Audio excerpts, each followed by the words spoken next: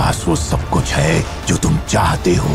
फिर भी ये दुनिया तुम्हें चुनने पर मजबूर करती है।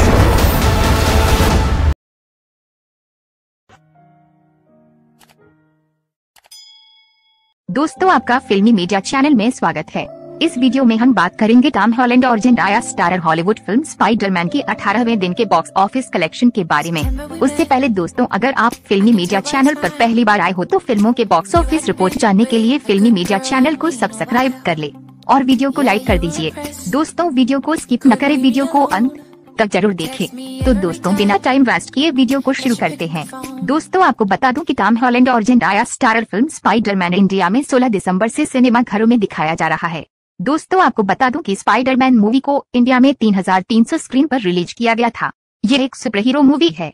इस मूवी का निर्देशन जॉन वॉट्स ने की है। स्पाइडरमैन मूवी की बजट की बात करें तो इस मूवी की बजट लगभग एक हज़ार पाँच सौ करोड़ रुपए बताया जा रहा है। फ़िल्म के कलेक्शन की बात करें तो ये मूवी कोरोना महामारी में भी बॉक्स ऑफ़िस पर ज़बरदस्त प्रदर्शन कर रही है। स्पाइडरमैन मूवी इंडिया में पहले दिन बॉक्स ऑफ़िस पर 32 करोड़ सड़सठ लाख रुपए की कमाई का ओपनिंग ली थी। अगर बात करें इस मूवी के पहले वीक के कलेक्शन के बारे में तो स्पाइडरमैन मूवी पहले वीक में इंडियन बॉक्स ऑफ़िस पर 148 करोड़ सात लाख रुपए का कलेक्शन करने में सफल रही थी।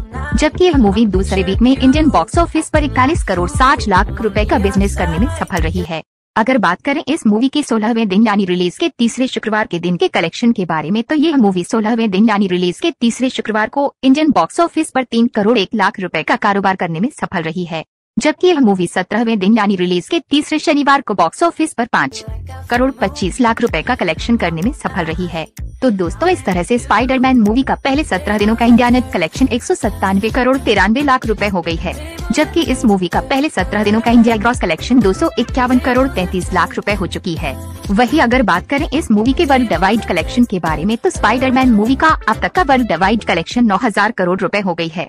अगर ओवरसीज कलेक्शन की बात करें तो स्पाइडरमैन मूवी ओवरसीज मार्केट में अब तक 4,800 करोड़ रुपए का कलेक्शन कर चुकी है। वही अगर बात करें इस मूवी के 18वें दिन, यानी रिलीज़ के तीसरे रविवार के दिन के कलेक्शन के बारे में तो अभी तक जो ऑक्यूपेंसी रिपोर्ट आ रही है, उसके अनुसार ये मूवी 18वें दिन, यानी रिलीज़ के तीसरे रविवार को इंडियन बॉक्स ऑफ़िस पर लगभग पाँच करोड़ रुपए की कमाई करती हुई नज़र आ रही है। दोस्तों, आपको बता दूँ की कोरोना महामारी के बावजूद ही Spiderman movie Indian box office पर ज़बरदस्त प्रदर्शन कर रही है। दोस्तों, अगर आप Spiderman No Way Home movie देख चुके हो तो आप हमें कमेंट करके बताएँ कि आपको ये मूवी कैसी लगी।